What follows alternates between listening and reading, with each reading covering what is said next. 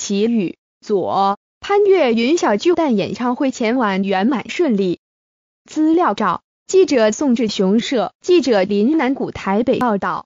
音乐人陈月荣透露，最近恐怖的事不少。他前晚欣赏奇遇潘越云在小巨蛋演唱会，亲眼碰上一件险鸟撞鬼的离奇故事。陈月荣回忆，当晚开唱没多久，他前座一位中年妇人忽把身子滑下。对方头靠在小巨蛋不高的椅背上，及肩长发便那么洒脱的垂落在我朋友穿短裤的腿上。陈月荣说，朋友忍了一阵子，悄悄他请他坐直，你的头发披在我腿上了。当场妇人回身说，我不介意。陈乐荣松了一口气说，还好他说完话还是坐直了，整场没再犯。但他却也哀怨表示。对方简直把我们当洗头小弟了。